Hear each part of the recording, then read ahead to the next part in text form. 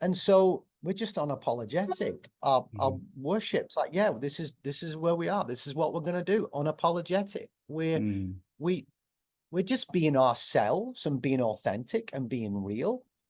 And I think I believe people come and they want to encounter the Lord, Yeah. even though they don't quite know what that means. We have t- testimony of people, you know, hey, so my first time to grace. Hey, what brought you here today?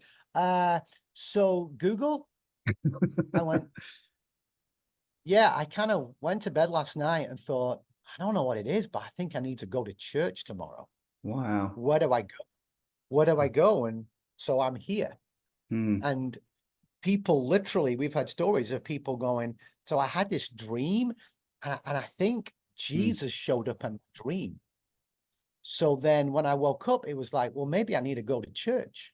Wow. And so those people are coming and they they don't they they want an authentic encounter with God. Mm. Well, if the scriptures say the Lord inhabits the praises of his people, Mm. we're going to make sure that our people are praising